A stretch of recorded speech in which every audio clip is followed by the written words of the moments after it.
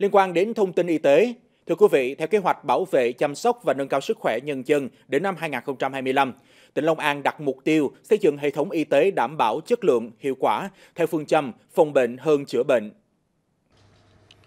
Theo đó, tỉnh phấn đấu đến năm 2025, tỷ lệ dân số được quản lý sức khỏe và tỷ lệ dân số tham gia bảo hiểm y tế đạt 95%, có 30 giường bệnh và 10 bác sĩ trên 10.000 dân, trên 80% người dân hài lòng với dịch vụ y tế, trên 95% trạm y tế cấp xã có bác sĩ làm việc, đồng thời củng cố năng lực chuẩn bị và ứng phó dịch bệnh, đổi mới y tế cơ sở và chăm sóc sức khỏe ban đầu, phát triển nguồn nhân lực và đầu tư trang thiết bị y tế, khắc phục tình trạng quá tải bệnh viện và đẩy mạnh ứng dụng công nghệ thông tin trong lĩnh vực y tế. Qua đó, nhằm nâng cao chất lượng khám chữa bệnh, hướng tới thực hiện bao phủ chăm sóc sức khỏe và bảo hiểm y tế toàn dân.